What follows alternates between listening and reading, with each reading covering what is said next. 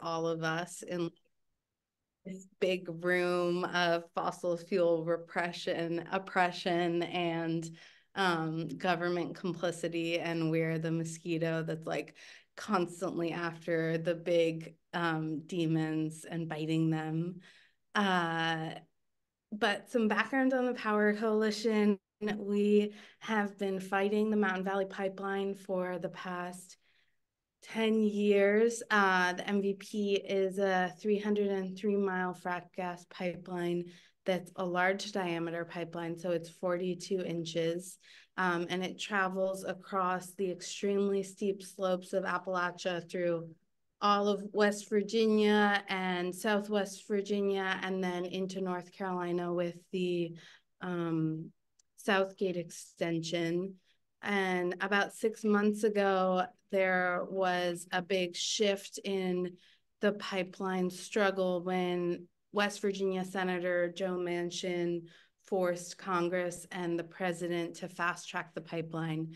And so we've really turned to focus our struggle and strategy on defunding the pipeline because the legislation he passed uh, restricted a lot of the judicial and legislative means of fighting the pipeline. So we're really excited to be here and learn with you all about the asset managers behind the Mountain Valley Pipeline and how we can target them, as well as how they're different from the banks that we're targeting, because we see the Mountain Valley Pipeline is a huge risk to investors, and we really want to uplift that message um, as people on the front line are combating uh, really horrific construction. Um, and the Mountain Valley Pipeline crosses the lands of the Yesah people who were also um, subject to genocide by what now is the United States and displaced over many years.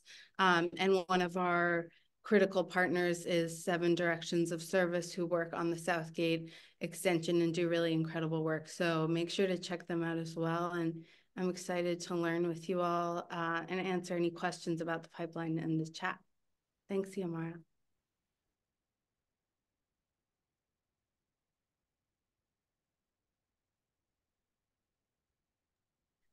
Thank you, Denali. I am super excited for us to be building this together.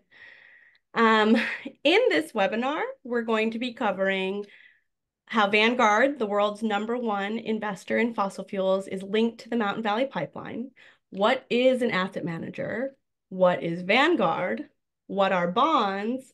The difference between banks and asset managers for campaigning purposes, how Vanguard is linked to the Mountain Valley Pipeline, and what are the next steps in this campaign. And also, what does this have to do with you?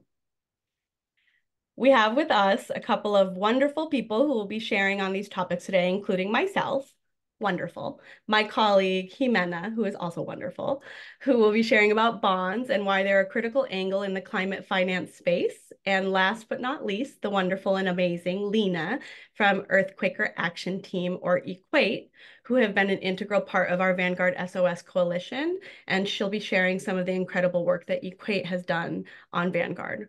At the end of all of the presentations, we're going to have a Q&A period. And um, I would love to ask you to hold on to your questions until the very end, unless they're critical to understanding the rest of the presentation.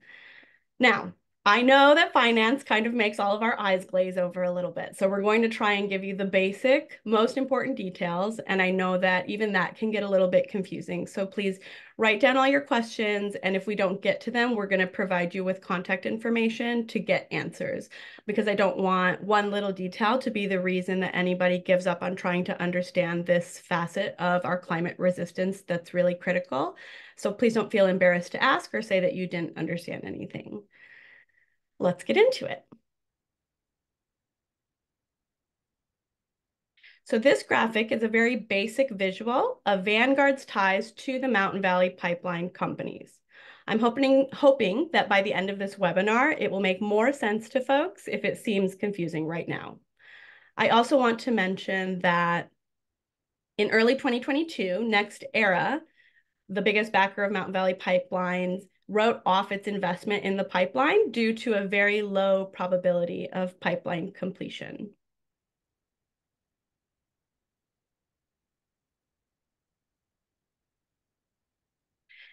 Asset management is investing money into portfolios of stocks, bond purchases, which Jimena will explain later on, and other financial mechanisms with the intention of those investments receiving a profit return, also known as making money for their client.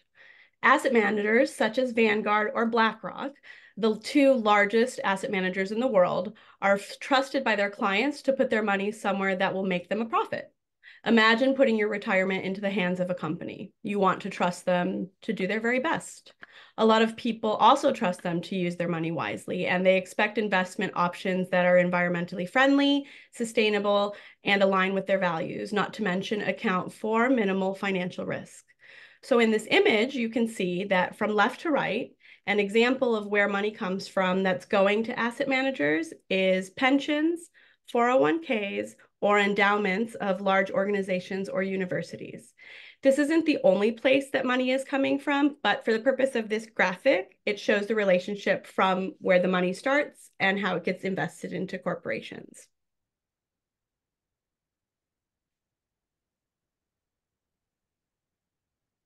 Asset managers primarily invest client assets through index funds. Index funds invest in and track the market for example, the S&P 500 is not just an individual company. The S&P 500 is an index fund tracking the 500 largest publicly traded companies in the United States. The asset manager on behalf of the investor, their client, is spreading bets across the whole market. Most of the index funds are passively managed, but there are two types of index funds, passively managed and actively managed. When describing passive index funds, think autopilot for index funds. For those of you who have a strong visual imagination, visualize with me. Five check boxes. You can check any of those boxes, which each represent an index fund made up of any number of companies, and your investment will be spread across all of the companies in that particular fund. When we say passively managed index funds, we refer to the most common method used by people who don't realize that they have other options or who are seeking less expensive and less risky investing. This is why it's important to pressure asset managers to provide passive index fund options that are sustainable and that don't fund violent practices or destructive practices. Imagine if one of those check boxes was labeled violates human rights. It would be humorous if we didn't know that there will always be people who will choose to continue those destructive investments. AMs want to claim, AMs, asset managers, want to claim that they can't provide index funds that filter like this, but they can. An actively managed index fund is just that, actively managed by a person, an asset manager. They handpick each company using guidelines provided by their client about what kind of investments they want to make. It's often more expensive because a human being is being paid to do a job rather than a machine. And there are more transaction fees, which can be a deterrent for folks who are trying to make as much profit as possible no matter what. There's also an added risk to this called stranded assets. Stranded assets are assets or money that loses its value or turns into a liability before the end of their expected economic life. For example, a drop in demand of a product like fossil fuels or government regulation of a product. So if you've invested money into a company that's building a pipeline and there, there's no need for that product anymore, what happens to your invested money? Vanguard prides itself on telling the public, you're more than just an investor, you're an owner. They privately, they're privately owned so that, so they say that their clients that invest in their funds are the true owners of Vanguard. An owner or a client is also referred to as a shareholder. Shareholder resolutions are proposals to the company to make a change of some kind, and it's voted on by all the owners, clients, shareholders at annual general meetings. If you've heard of AGM season, it's usually in the springtime when lots of financial institutions are holding their annual general meetings. Unfortunately, these companies like Vanguard have a track record of using their clients' investments or money to fund destructive behavior such as fossil fuel extraction, arms and weapons supplies, egregious human rights and indigenous rights violations, and community contamination, just to name a few. Vanguard is the number one investor globally in the fossil fuel industry and has over $300 billion of its 50 million clients' money invested in these owner companies of harmful projects. Last year, uh, I'm sorry, I was about to read my own box. Customers from all over the world have started demanding sustainable investing options from their asset managers. So the fact that Vanguard last year only supported 2% of their clients' shareholder resolutions is incredible and disturbing for a company that's entire pitch is how their clients make decisions and are owners.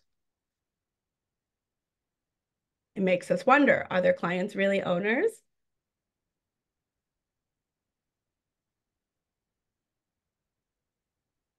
Okay, so this is a similar chart from what you saw a couple of slides ago, but it's showing all of the financial pillars that are propping up the fossil fuel industry. You see, as before, that we start with our base funding, which comes from client money.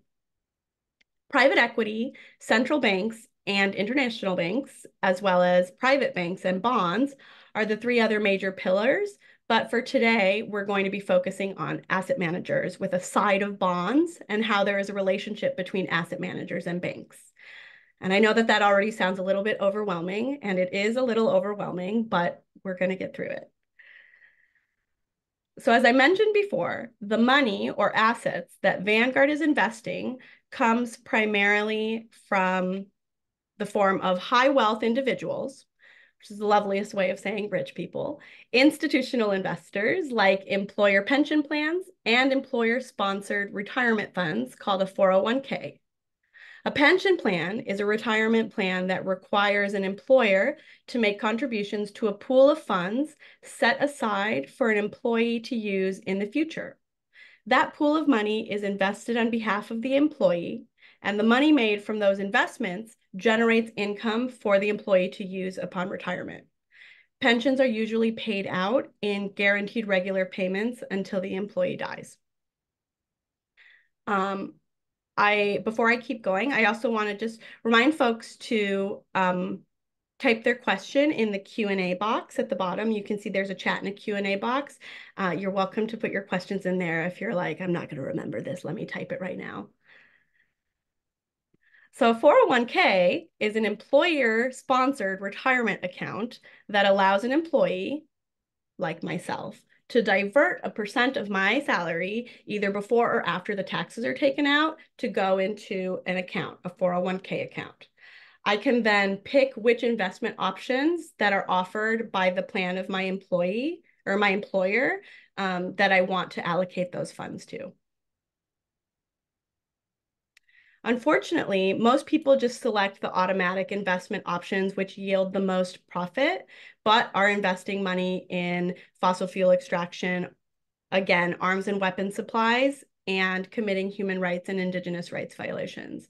There's a lot of opportunity to pressure companies, for example, Google, which is Vanguard's largest client, to demand on behalf of their employees sustainable and ethical investment choices.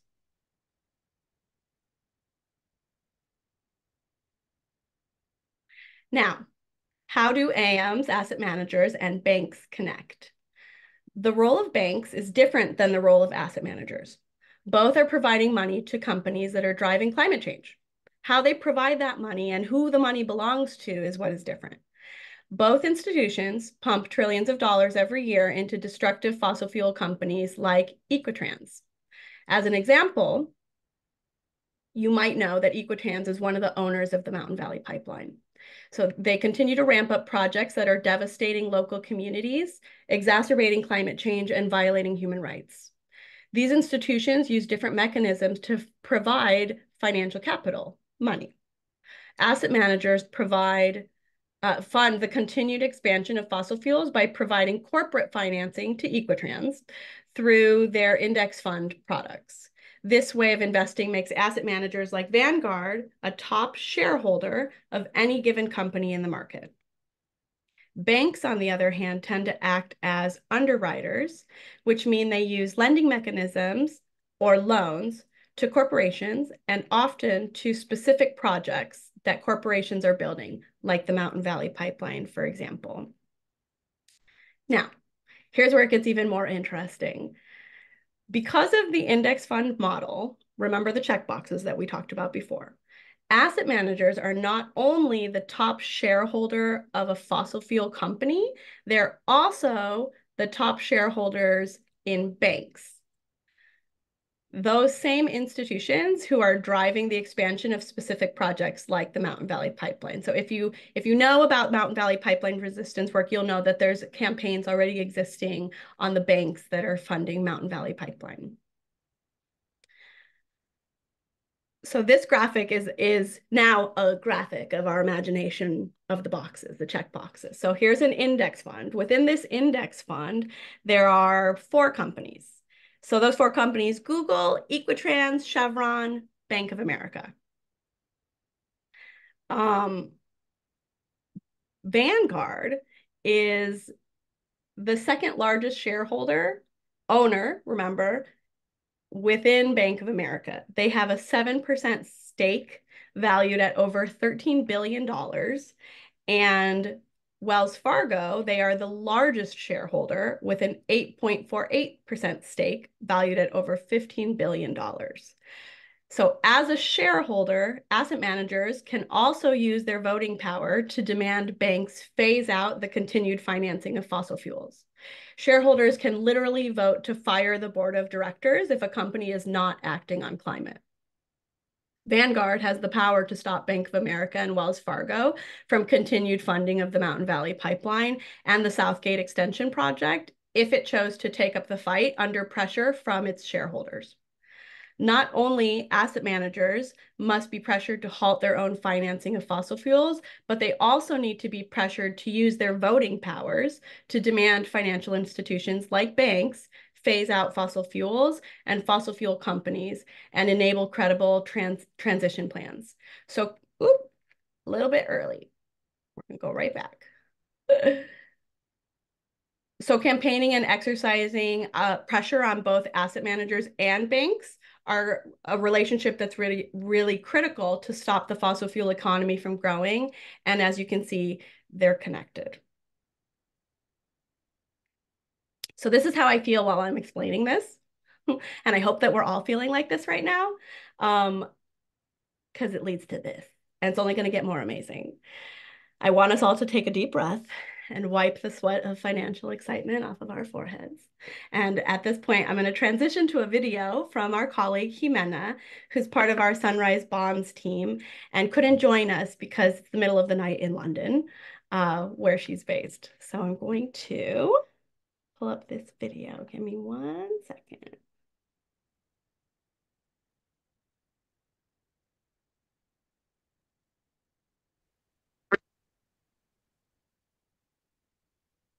So hello everyone, and thank you so much for having me today. My name is Jimena Purita Vanegas Salio, and I am originally from Bolivia, and I'm a campaigner with the Bonds team at the Sunrise Project. So I'm probably sure you're wondering what are bonds and how are they even relevant to this topic in the first place? So let me ask you this. How does the fossil fuel industry find trillions of dollars during a climate crisis? Well, this is where I come in to tell you about the massive money pipeline that they have been using to secure funding. And this is the bonds market. So today I will give you a brief introduction to the bond market, provide you with a solid grasp of the basics of how bonds work and the key players involved. And I will also explain why bonds are important for fossil fuel companies and show why campaigners need to turn their attention to the bond market to cut off finance for coal, oil, and gas expansion. Any questions, please, can be shared on the chat, and some extra documents will be shared with you at the end of this session. So let's begin. And I will now share my screen with all of you.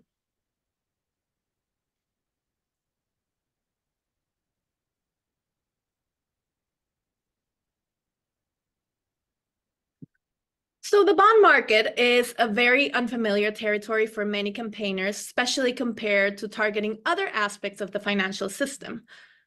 But just because bonds are unfamiliar it doesn't mean campaigners can't engage with them.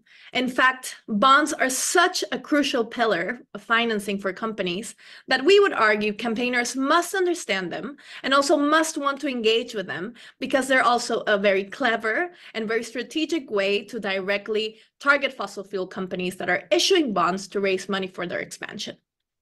Well, the accounting behind bonds can be a little bit more complex. Understanding the basic concept of a bond and knowing why bonds are important for fossil fuel companies is quite straightforward.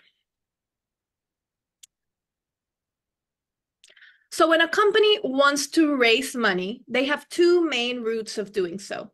Equity financing or debt financing. Equity financing requires that the company to give up a percentage of ownership through selling shares. Debt financing, on the other hand, require borrowing and eventually paying back the money over an agreed period of time, plus the interest. So companies that pursue this area, the debt financing area, have two main ways of doing so. One is a direct loan from a bank or a financial institution, and the second one is through issuing bonds. Companies can often borrow much more money using bonds with lower interest rates compared to bank loans. And bonds have often have fewer restriction compared to bank loans and don't involve handing over any control of the company to investors as it is the case when you sell some shares. Therefore, by issuing bonds, companies can enjoy less public scrutiny, less transparency, and ready access to debt. So what exactly is a bond then?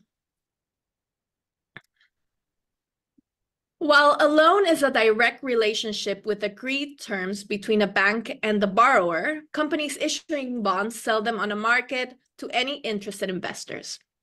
With a bond, multiple investors lend money to a company for a set period of time, and this is called the maturity date. On average, this can be 10 years. In exchange, the investors get regular interest payments at a fixed rate, and this is also known as a coupon. And this is usually paid annually or semi-annually. That's why bonds are also often called fixed income investments. But when the bond reaches its maturity date, which in other words is the date of expiration, the company will then repay the investors the initial sum of money, and this is called the face value.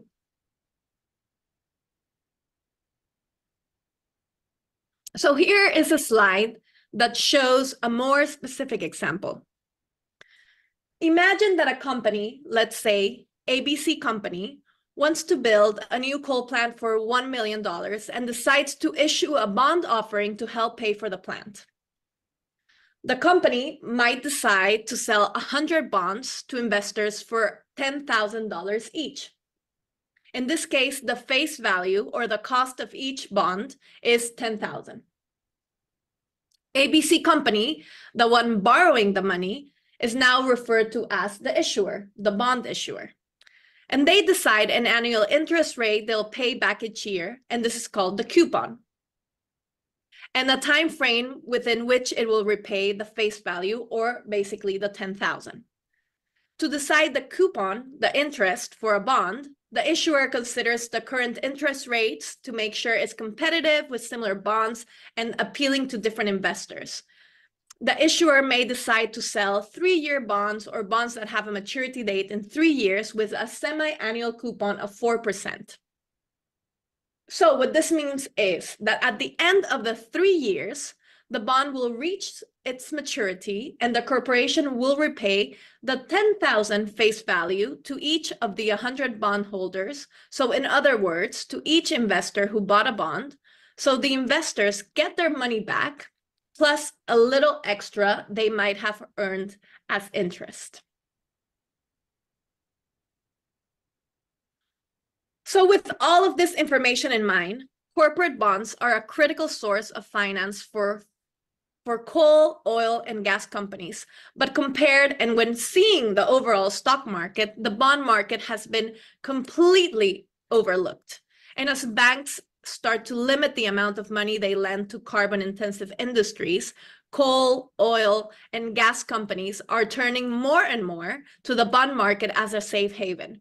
And as a result of this, the fossil fuel industry has used the bonds and has used bonds as a backdoor for raising large sums of money for expansion.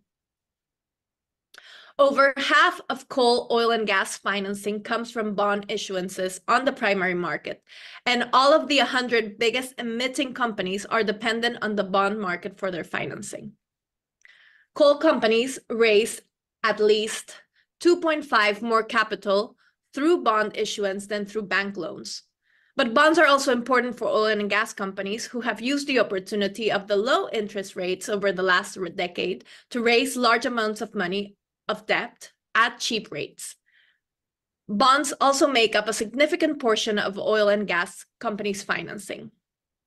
And although bonds can be issued by both government and also by companies, today we're mostly focusing and we're only focusing on bonds issued by companies, and specifically those bonds issued by fossil fuel companies to fund their expansion or what we call toxic bonds.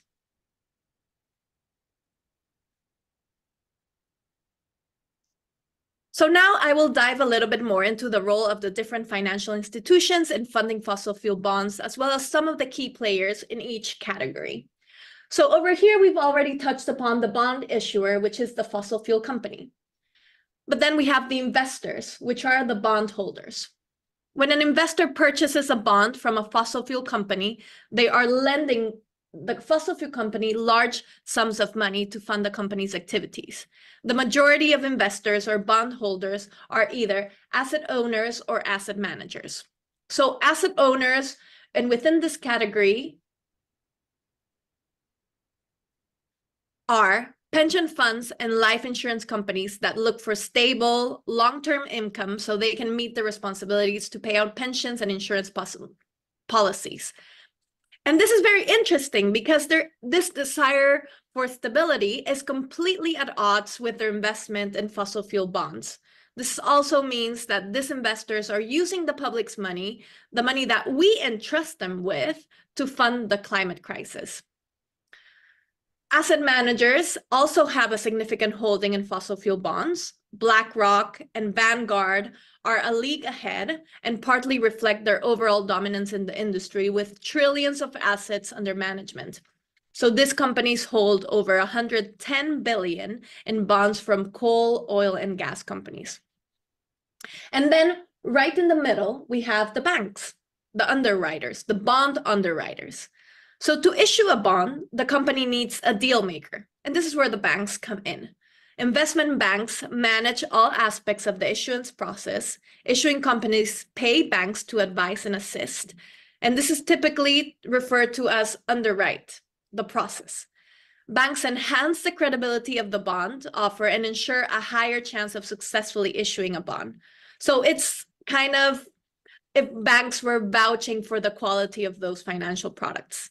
So underwriting bonds is very appealing for banks because they can actually pocket all of the profits from the transaction without having any financial risk and without any financial risk actually carrying over on their books as it would if they were having a private or providing a private loan.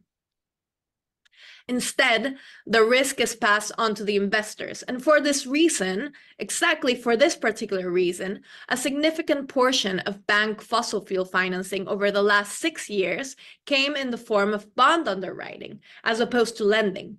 Yet many bank climate policies at the moment apply only to lending, which leaves a massive 2.7 trillion loophole. So why coal, oil, and gas campaigners need to turn their attention to the bond market? Bonds provide a way to influence companies that are hard to connect with through regular shareholder methods. And unlike strategies involving shareholder engagement and campaigns on bank lending, campaigners often overlook the bond market. And this oversight has left fossil fuel companies using corporate bonds to quietly raise money for new projects.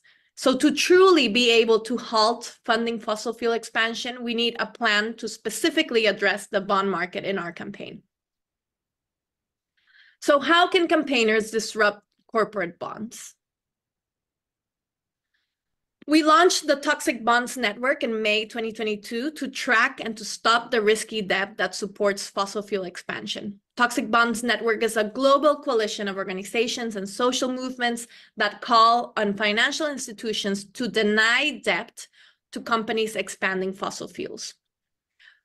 So this is a great tactic because financial institutions are not used to the public knowing about the bonds they purchase and underwrite, and much less holding them accountable for the impact of these toxic bonds. Yet a growing global movement is doing exactly just that. So we aim basically to tell the story of fossil fuel companies that are hiding in the shadows of the bond market to fund their expansion. And therefore, what we're trying to do is drive down investor appetite for investment in new toxic bonds. So now for a more detailed perspective, let's delve into the key developers driving the Mountain Valley Pipeline project. So in this slide, we have NextEra Energy, AltaGas, Con Edison, RGC Resources, Equitrans, and they are the ones that are currently developing the Mountain Valley Pipeline project. And while we currently lack the specific data on the outstanding bonds related to the Mountain Valley Pipeline project for each of these companies, it's important to note that every single one of these companies involved in this group project have outstanding bonds. And this involves a collaboration of various investors and banks. But for those with a keen interest, we can further conduct a thorough analysis of the diverse range of stakeholders in these deals. However, we will take a closer look now into one specific investor, namely Vanguard, which becomes very crucial given our focus today on asset managers. So Vanguard holds over 54 billion in bonds issued by coal, oil and gas expansionists, 90, 19 billion in coal and 35 billion in oil and gas. Vanguard holds 2.9 billion in bonds issued by MVP developers. So these are just some of the specific data to give you an idea of its fossil fuel bond holdings. So once more, the, ma the main demand of denying debt or investors not buying new bonds and banks not underwriting them will hit companies hardest by forcing them to find other investors for their bonds, likely raising the cost of debt. Ultimately, if we're successful, it will stop bonds as a safe and easy route for fossil fuel developers to raise money. So I want to thank you all for your attention and please do reach out if you want to have a conversation and expand your knowledge about toxic bonds, or if there are any campaign resources that you would like to see, we would be happy to connect with you all. And I hope this has been a useful session in terms of understanding a little bit more, more about how we can use the bonds market and use it in our campaigns for the future. Thank you so much, and I hope you all have a nice day.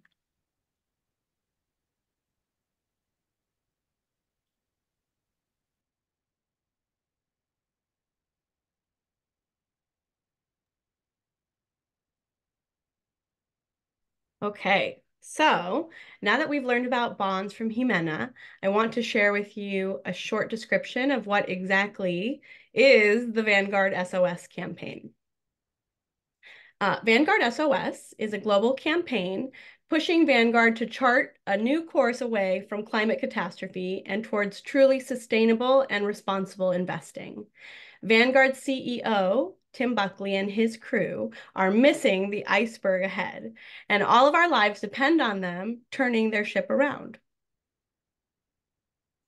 We're campaigning network of civil society organizations, social movements, and financial experts working together to secure a climate safe future for everyone. Individuals, shareholders, investors, NGOs, and employees are all joining the call for Vanguard to stop funding climate chaos and escalating economic risk. I now want to pass it over to Lena, our colleague and campaign partner from EQAT, to share with us some of the incredible work that EQAT has done. Thank you so much, Xiomara. And I'm just going to take a moment to take a breath myself. I am just so honored with the expertise in this room, the knowledge in this room, and um, want to celebrate the fact that it is by design that these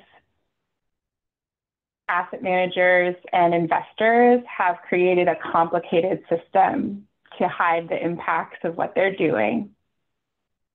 But the impacts destroy people's lives, have been and will, unless we push them to take action. So I'm just going to take a moment to breathe, absorb some of the brilliance and complexity that Jimena just shared uh, before I share a little more about our work with EQAT.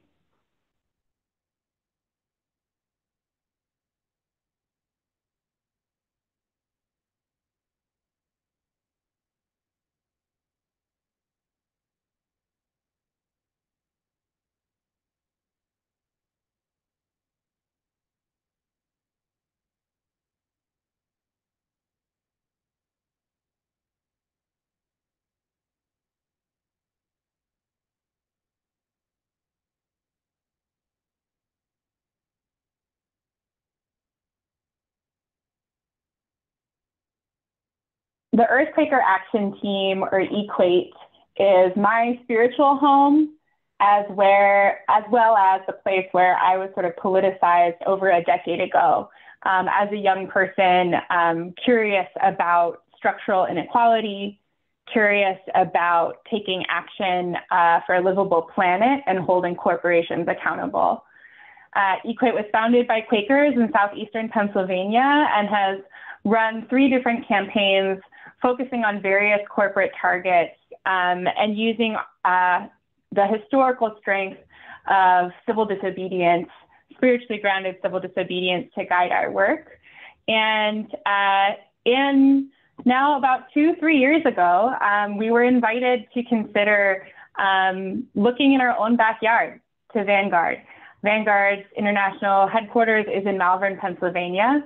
Um, they employ a lot of people in southeastern Pennsylvania. And a lot of Quakers and others in our area have retirement funds, personal funds in Vanguard. And so uh, we felt led uh, at the time that uh, we were invited to take up this work uh, and call on this institution that we have access to uh, that happens to be the largest investor internationally in fossil fuels to do much better than it has been. We launched our efforts uh, really publicly on, on the scene uh, in April of 2022. You can see a picture here of this 40 mile march that ended at Vanguard headquarters. Uh, you can see the inflatable Tim Buckley in the background. But uh, what's really important is that the march started in Chester, Pennsylvania uh, where residents have been fighting for decades against polluting industries, including an incinerator, many of which are Vanguard investments um, right here in our area. So as Vanguard profits from climate destruction around the globe, uh, as it profits from climate destruction and human rights uh, infractions along the Mountain Valley Pipeline, it does so in our backyard here in southeastern Pennsylvania as well. And so we launched this effort really connecting the dots from impact in Chester to this bucolic, kind of beautiful, almost college campus in Malvern, Pennsylvania, where their corporate offices are. So this picture you see is, is uh, the end of that march, folks coming together, um, trying to make clear this connection. Uh, next slide, please, Xiomara.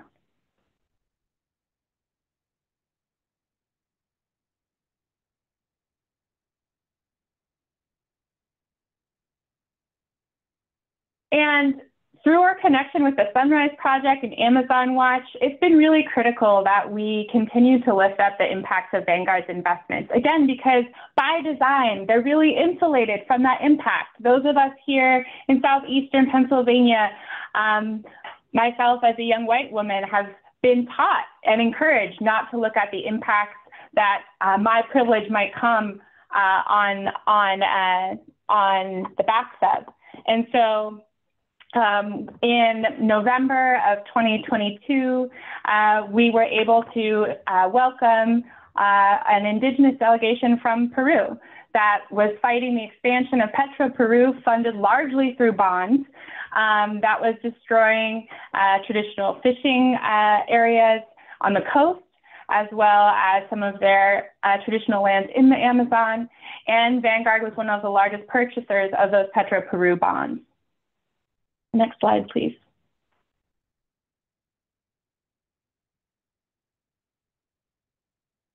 This is a picture from um, an action we felt led to take last spring.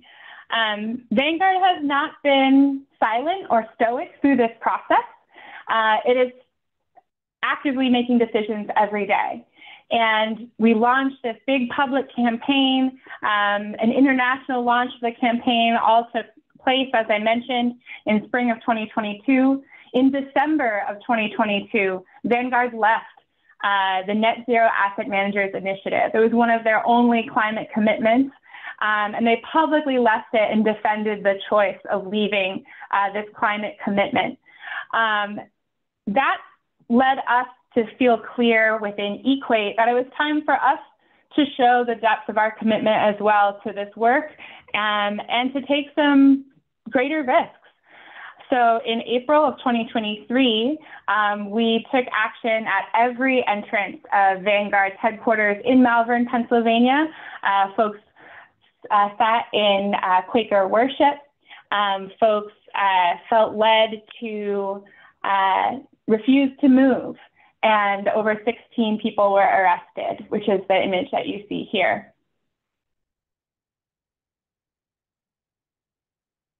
Moves to continue to take action, we launched then later in the spring of 2023 uh, a pledge for folks to start moving their money away from Vanguard.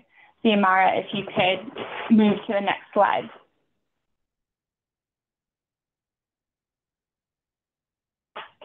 So a question that we often get is, you know, why is Vanguard not offering more climate safe funds or don't they have some funds that are available? And um, as of 2023, less than half of a percent of their total assets under management were in so-called um, environmental, uh, uh, socially responsible funds or ESG funds. Now, I'm not going to get into a big debate about this, but I will name some resources that I encourage folks to check out. Uh, there's a tool with um, an organization called As You Sow that you can put in all of the funds that uh, Vanguard claims are uh, socially responsible funds. You can type them into this tool and see how they actually stack up. Um, and then Quakers uh, also care about investments in militarism, prisons, militarized borders. Um, and another tool you can check is this tool from our friends at the American Friends Service Committee. And um, of all of the funds, again, less than half of a percent that Vanguard uh, promotes as socially responsible funds, not one of them matches the criteria in both of these tools.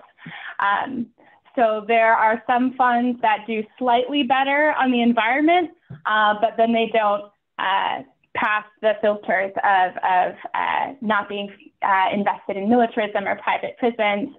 Um, and then if they're you know, better on some of those are heavily invested in fossil fuels. So I encourage folks, you can look up the name of any funds that you may have investments into these tools and see how they actually stack up. The As You Sow tool is also helpful because it will show you the many ways that asset managers and different funds like these are exposed to fossil fuel. So it's not, as Jimena was saying, it's not just through direct loans and banks, it's also through insurance companies. It may also be through bonds. Um, so I definitely encourage folks to check out those tools. And to the question of why is Vanguard doing this? Why are they not offering more um, options to investors that want these, these options? I think uh, perhaps a cynical view is they've yet to be convinced that it is worth it to them. And it's part of our job as social movements to provide the collective pressure to make it clear that they must act, that enough people uh, will move their money away if they do not act, that they must take uh, real action and provide real mainstream products that provide for a livable planet and human rights.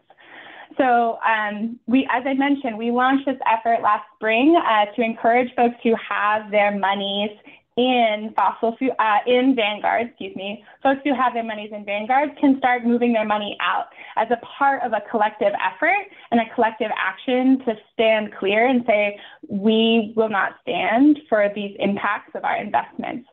So um, the picture in this slide, we had two events in June of 2023, one again in Chester, connecting the dots to the impacts of Vanguard's uh, investments locally, um, and then one at their headquarters launching this pledge. There are three parts of the Never Vanguard pledge. Uh, if you invest in Vanguard, you can pledge to move your money out. Uh, you can pledge uh, not to invest in Vanguard if you aren't currently. And if you're a young person, you can pledge not to work for Vanguard until they take meaningful action on climate. Um, so that's just a little bit more about um, why at that stage in the campaign, we decided to launch this pledge. And uh, we launched the pledge in June of 2023, as I mentioned, and have now had um, hundreds of people signed the pledge. The last time I checked, it was over 450 people signed the pledge, and over $25 million have been moved away from Vanguard.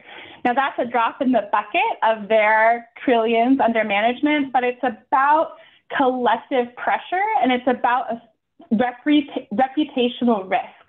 So again, what motivates these asset managers? Their reputation is very important to them. Part of what generates their business is that they're seen as responsible stewards.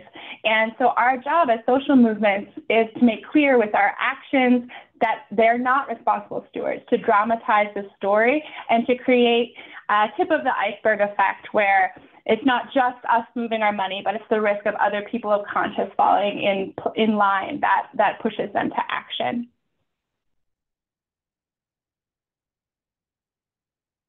And you can sign that pledge. You, uh, Roberta just put uh, that link into the chat if you're interested in joining that effort. And um, I'm just checking to see if there's other questions here that I might be able to answer. And I'm not sure, Roberta, where to see the question box for Ali's question. Maybe you can send it to me. But I'll take a breath and just say that um, something I've learned in this campaign is that thank goodness the future is not bound by the limits of my own imagination. Uh, these systems are very big uh, but I've just seen time and time again the power that people have when we come together and create things and actually take action for what we believe. Um, so it's um, really critical, I think, and it's a part of my faith to take action of my values. And then so much more feels possible once I step toward that action. I get out of the paralysis and uh, the despair that I can feel when I look at the depths of these issues. Um, I do encourage folks, I'm seeing some questions here about, oh, where do I move my money instead? Now, EQAT is not a fiduciary and we do not offer investment advice. However, we do have a number of resources on the Never Vanguard page on our website, uh, including the As You Sow tool, including uh, some uh, resources uh, for webinars uh, coming up. Um, we do regular moving money webinars uh, where folks can come together and explore together what their values are and what options there are to follow their values with their investments.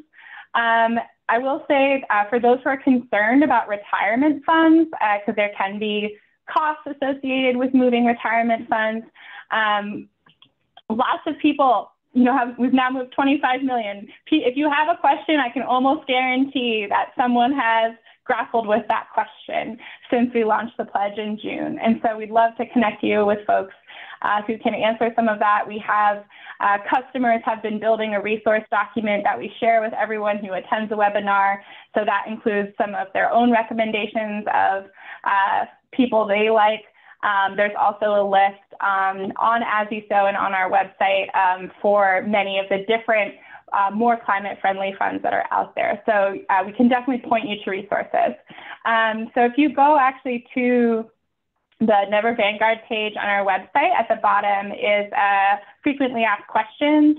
And you'll see the second question is where do, you know, where do I move my money instead? Very common question, and there's a bunch of resources there. So do encourage folks to check that out for sure. Um, I'm seeing another question about folks getting involved in shareholder resolutions at Vanguard. Thank you so much for asking this. Um, part of the reason that we are focusing our attention on Vanguard and asking folks to move their money now is also because they're one of the worst on uh, shareholder resolutions and proxy voting. They've routinely been the worst uh, in supporting climate and social uh, resolutions. Uh, in 2022, they supported 12% of climate and social shareholder resolutions, and in 2023, that went down to just 2%. So um, I feel convinced that they are sliding backwards at a time when it's critical that they, we need to provide uh, pressure uh, for them to change course. So um, there are groups that are still, you know, putting forward uh, shareholder resolutions and proxy votes that we would support. Um, but if you also feel convinced that Vanguard is going backward and feel ready to take action, either as someone with funds in Vanguard ready to move your money, or um, as someone who uh, would would sign the pledge in a different capacity, you can you can do that, and I would encourage you to consider it. Um, that being said, there are lots of groups out there, including our friends at Sierra Club and otherwise, who do shareholder resolutions, encourage folks to, to support them. And we would love for Vanguard to use their substantial power to push the companies that they're invested in to do better. They just have shown us time and again that they aren't doing that. And I feel like I've gone on and on, um, but thank you all for listening and for having us here. I mean, I like to let you go on and on because it's all very interesting and I love the way that you share with us. Thank you so much, Lena. I appreciate you. Um, I know that Roberta had an addition also to add, so I'm going to pass it over to Roberta. Um, I just wanted to add a little, um, I guess, a piece of information about Vanguard, which is really really upsetting when you think about it. Um, and I think it's uh, yet another reason why we really need to um, exercise pressure against this company. So, um, interestingly enough, Vanguard is not a publicly traded company. So it really means that um, it doesn't really have traditional shareholders. And so it is not possible to file a resolution at Vanguard as a company and demand the company, demand its board of directors, demand uh, its executives to take action on climate. Um, and so really that leaves you with really the public facing, the grassroots pressure um, as the key leverage, the key strategy to really bring this company honestly to its knees and really put it in a position where they have to think about climate. And so I bring this up because resolutions can be you know, the resolutions that um, our friends at Sierra Club file at fossil fuel companies or any other companies that really need to think about a credible transition plans. But you can also fight resolutions at BlackRock, for example, the other asset manager, to really uh, look at um, its its climate actions. And so, unfortunately, we don't get to do that with Vanguard because it is not a publicly traded company, and so we really, really have to rely on the grassroots pressure for this company. So I I think um, I feel like that's an important piece for folks to know. That makes Vanguard also a very obscure company, not transparent, and really just accountable to who we don't know. So we have to ultimately um, really turn it um, to make it accountable to to us, the people. Um, so yeah, that's what I wanted to add. Thank you. Thank you, Roberta. Okay, so the question is, what's next? Um, on March 11th, 2024, the plan is that we will be launching a Vanguard Mountain Valley Pipeline campaign. It will be a webinar. The opening will be a webinar featuring speak speakers who have been resisting the Mountain Valley Pipeline for over a decade, as well as a summary of what folks can look forward to in the next few months as ways to participate in the campaign and learn more for those of you who may be new to the Mountain Valley Pipeline fight. So whereas this webinar was really geared towards, let's make sure we can have all a base understanding of what is an asset manager the the campaign launch is okay now that we have that information with us what is the mountain valley pipeline? And what are we going to do to combine those two enormous buckets of knowledge to try and make some change trying to apply pressure um, and hopefully bring in folks who maybe don't know or haven't been involved in climate finance anything, but really care about Mountain Valley Pipeline or our local community who are impacted by Mountain Valley Pipeline and are like, I want to get involved. How can I get involved? Or people who have been working in the climate finance resistance work and haven't plugged into Mountain Valley yet and they really want to be a part of that. Um, so I want to invite you to register. Here's the link to the webinar that we will be doing on March 11th. Um, when you click that link, there's like no information yet. We haven't filled it in yet, but that's the date and it's so that you don't forget. Um, when you registered for this webinar, it should have given you an option to receive updates um, from the different participants and the like from POWHR, from EQAT. We also put seven directions of service um, and Vanguard SOS. And we'll be sharing the contact information with the different groups um, according to how you registered. So uh, if you signed up somewhere to get updates, you'll get updates. But in case you're one of those people who never checks your email, here is the link for you um, so that you can go ahead and register. Um, I want to see if there are, I know we've done a pretty great job of um, answering questions. And this Q&A box is incorrect. Jimena and Camila are not actually here. so it's down to Roberta and Lena and myself. And I also want to like really give a big thank you to Roberta, who is part of our Vanguard SOS team, who's been fielding questions and working the chat and making magic happen over there. So uh, really say, super thankful for you, Roberta. Um, are there any other questions that maybe we haven't gotten to yet?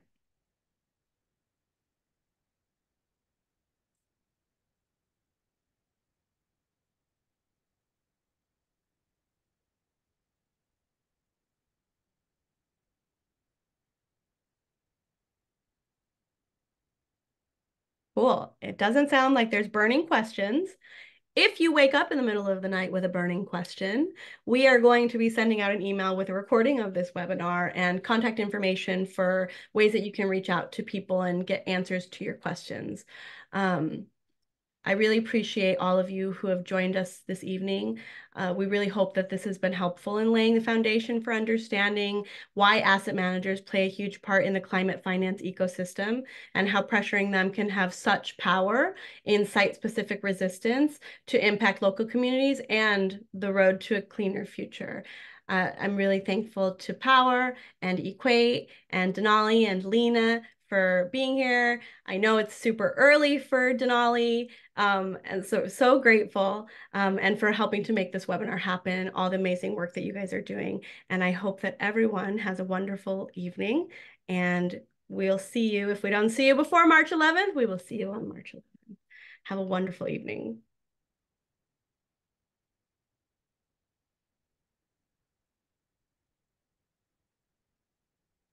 Thanks, everyone.